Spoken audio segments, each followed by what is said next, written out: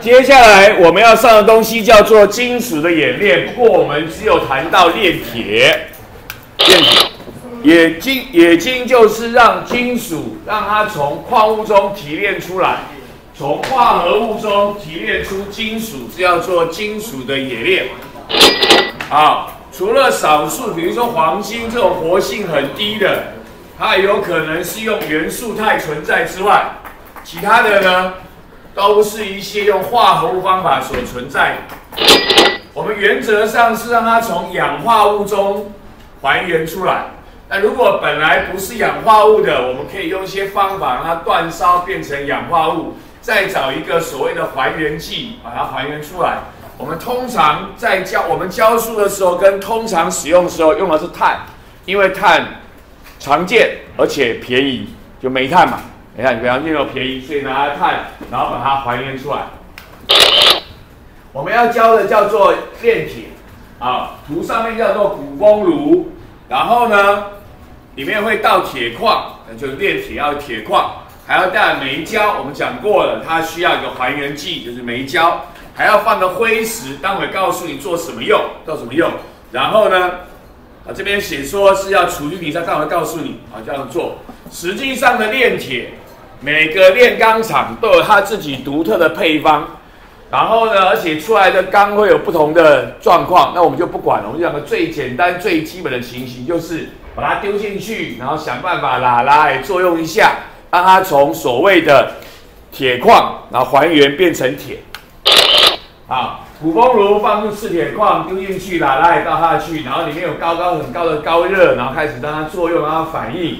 底下有个鼓风炉，鼓热空气，要温度高，比较容易作用啊，所以炼钢厂都非常的热，非常热，因为它有大量的热会跑出来。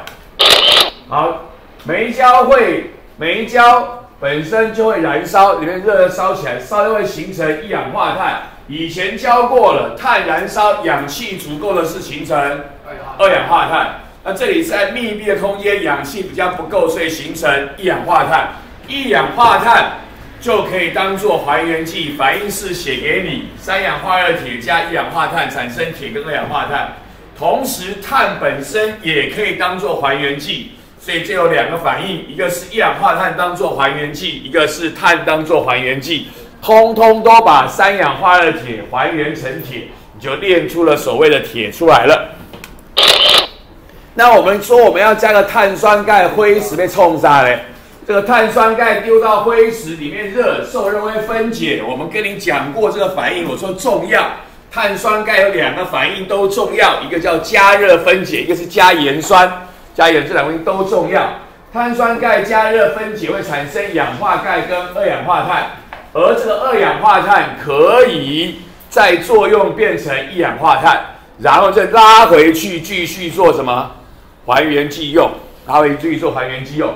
啊，所以呢，就是，然后呢，那这个氧化钙呢，这边一个氧化钙啊，啊，这个氧化钙就是要跟泥沙里面的渣渣杂质，主要是成分是二氧化系，会形成溶渣，溶渣是俗名，学名叫做偏系酸钙，CaSiO 三，CaSiO 三偏系酸钙啊，所以我当初为什么要加入碳酸钙？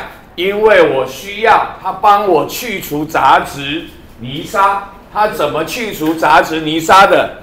碳酸钙受热分解成氧化钙跟二氧化碳，氧化钙跟二氧化系作用形成偏系酸钙，它就把它作用掉，反应掉，所以杂质渣渣就没有了，杂质渣渣就没有，就是我们的过程啊。那这个溶渣是有用处的。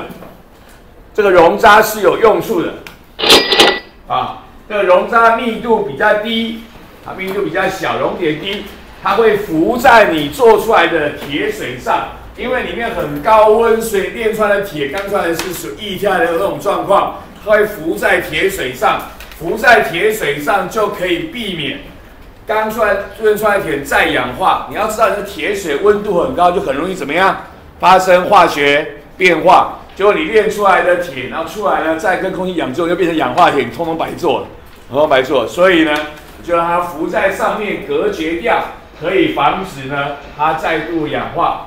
那么同时呢，这个渣，然后把它流出来，把它撇掉，收集起来之后，这个渣渣还可以当做水炼水泥的原料，渣渣还可以当做炼水泥的原料，它用途，请你要记得，记得熔渣是怎么形成的，要记得熔渣有什么用途：一，防止铁在氧化；二，做水的原料。我们这样子从高炉炼出来的铁，叫做什么铁？这古时候教过的，不是生铁。含碳量比较高，它比较硬啊啊，但是不适合敲敲打打，但是适合铸造，这叫做铸铁。然后呢，除去碳之后就接进去，要是什么铁？手铁。就可以来敲，延展性好，可以来敲敲打打，所以要做所谓的锻铁。这个是我们以前教过的，这是我们以前教过的，好，就是把它记一下，谁的含碳量多，谁的含碳量少，啊，谁适合铸造，谁适合锻造就可以了。以上就是有关于炼铁的内容，OK？请问有问题了吗？OK，结束。